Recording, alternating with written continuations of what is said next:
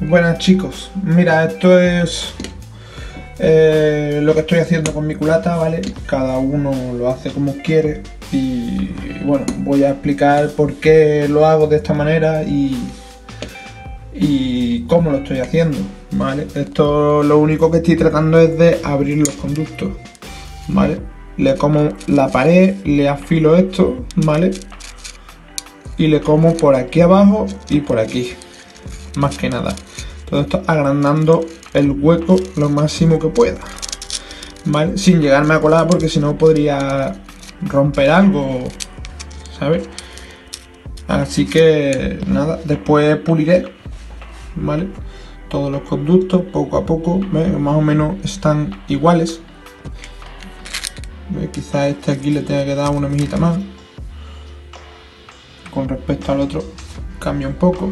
Y es simplemente ir verificando y comiendo con una. Yo la DRM la uso con esto. ¿Vale? Y después darle un pulido.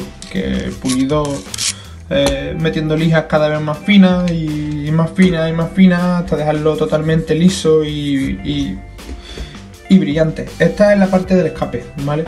Eh, mm, a mí lo que me interesa es sacar los gases eh, que liberen los gases lo antes posible para que eh, haga girar más rápido la turbina. Lo que intento conseguir con esto es que el turbo cargue antes, ¿vale? Eh, otras personas también se dedican a, hacer esto mismo aquí en, en la admisión, ¿vale? Yo personalmente no lo voy a hacer la admisión, ¿vale? Porque si agrando el conducto eh, se supone que si tienen más salida de, de, gases, tardan más en coger la presión. Lo que quiero es que el turbo empiece a soplar antes, no más tarde, ¿vale? Hay otra gente que le gusta mucho quitarle el granulado este que tiene, la textura esta granulada, ¿vale? La veis aquí y dejarlo pulido. Yo en este caso no lo voy a hacer porque considero que esto es para que los gases se mezclen bien con la gasolina cuando pulverice el inyector. ¿Vale? Es mi opinión, cada uno pues lo hace como, como buenamente quiera, ¿sabe? O, lo que crea o lo que quiera conseguir.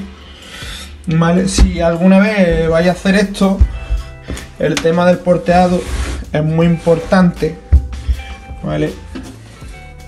Si ponemos la junta de escape, ¿vale?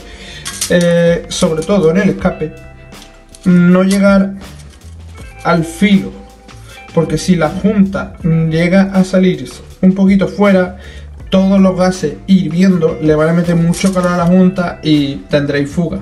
Y van a ir partiendo junta tras junta, ¿sabes? O sea que os recomiendo que aquí no le abráis tanto, ¿vale? No le abráis tanto.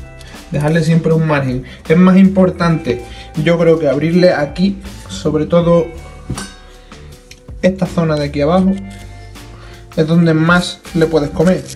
Las esquinitas, ¿sabes?